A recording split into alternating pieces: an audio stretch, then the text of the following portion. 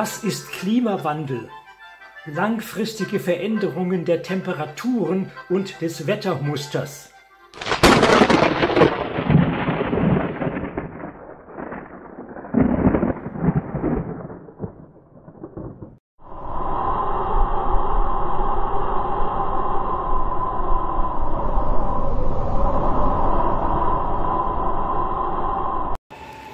Die Eisenbahn ein schienengebundenes Personen- und Güterfahrzeug mit verschiedenen Antrieben.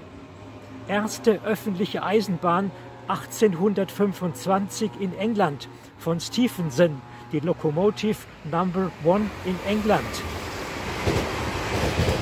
Katalysator der industriellen Revolution und nun heute alle Facetten.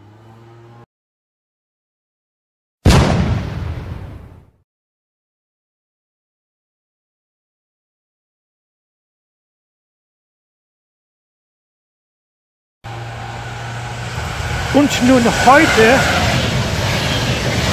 und nun heute alle Facetten von Zuggenerationen und Typen, wie ein Güterzug.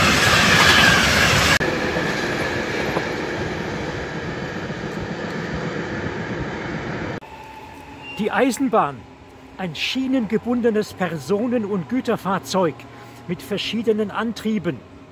Erste öffentliche Eisenbahn 1825 in England von Stephenson, die Locomotive Number One in England.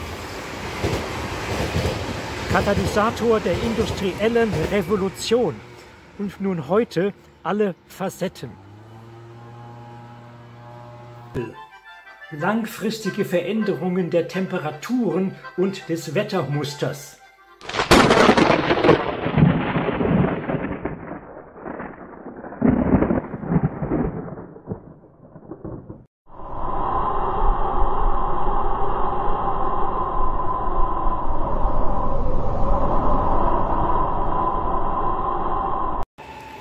Die Eisenbahn, ein schienengebundenes Personen- und Güterfahrzeug